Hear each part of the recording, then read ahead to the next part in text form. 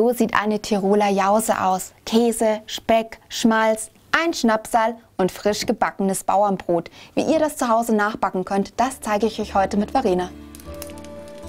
Was backen wir denn heute für ein Brot? Wir backen heute ein Bauernbrot Ja. und von der Hälfte mache ich auch ein Nussbrot. Die Zutaten habe ich eigentlich schon vorbereitet. Ja, ich sehe schon. Was haben wir denn da alles? Äh, ich habe da jetzt Brotmehl, Roggenmehl. Das ist Brotgewürz, das kriegt man überall zu kaufen, fix und fertig. Wenn man es selber machen möchte, braucht man Koriander, Kümmel, Anis und Fenkel. Das ist jetzt der Sauerteig. Ich tue das ins Brot rein, äh, damit das Brot länger haltbar ist und der Geschmack ist ein bisschen intensiver und schmeckt eher ein bisschen säuerlich. Gibt es irgendwas, was schiefgehen könnte beim Backen? Äh, ja, das ist mein Germ. Das heißt, äh, wenn das Wasser zu kalt ist, braucht der Teig länger zum Gehen. Na dann fangen wir mal an. Okay. Dann nehme ich die Hälfte vom Brotmehl,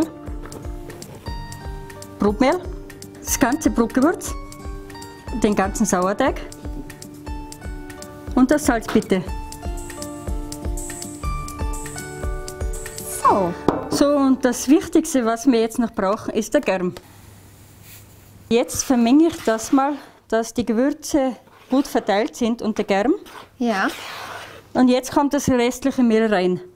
Und warum nachträglich? Ich mache es, damit äh, das Gewürz besser durchgemischt wird. So, und jetzt kommt das Wasser dazu. Man kann mit der Hand genauso zusammenkneten, dann hat man mehr Gefühl. Ich habe schon gemerkt, Kochen in Tirol hat sehr viel mit Gefühl zu tun. Ja, stimmt.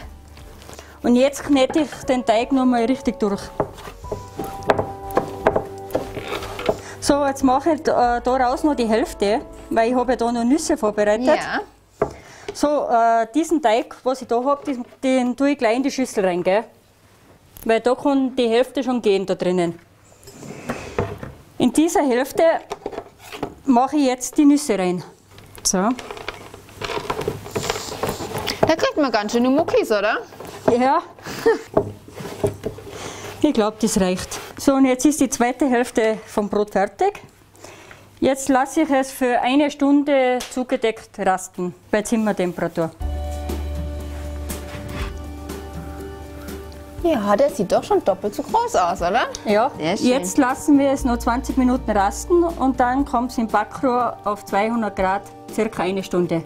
Gibt es noch einen Tipp, wie ich herausfinde, ob es wirklich fertig ist? Ja, wenn man auf der Rückseite mit dem Finger draufklopft und es klingt hohl, dann ist das Brot fertig gebacken.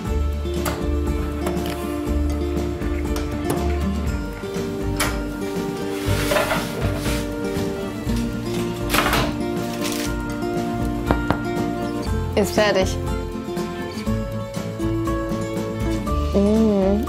Gut ist geworden. Und das Rezept zum Nachbacken gibt es unter dem Video. Mahlzeit!